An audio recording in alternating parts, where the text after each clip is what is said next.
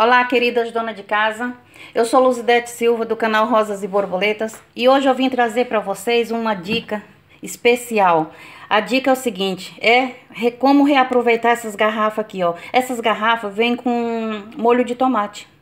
E quando eu desocupo essas garrafas, depois de consumir o molho de tomate, o que que eu faço?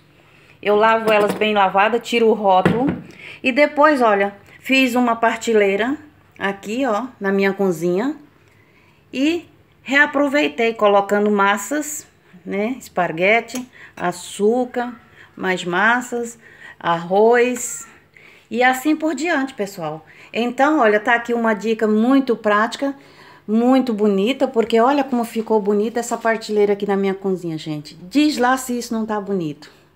Olha só. Gente, a gente só não tem uma casa organizada se não quiser. A gente não precisa ser rico para ter uma cozinha bonita. Basta ter criatividade. Olha como ficou bonita essas garrafas. E mais bonita ainda é se você souber pintar elas. Você decorar essas garrafas aqui. Gente, isso fica o máximo. E o que, que nós gastamos? Praticamente nada.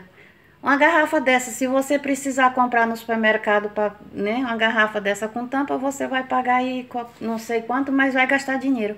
E, no entanto, isso aqui é reciclagem. Isso é colaborar com o meio ambiente e com o nosso bolso, não é? E é isso aí, pessoal. Essa é mais uma dica do canal Rosas e Borboletas e espero que seja útil, que vocês gostem. E se inscreva no meu canal, me ajude a partilhar meus vídeos e, e me aguarde com mais uma dica de cozinha, tá bem? Muito obrigado.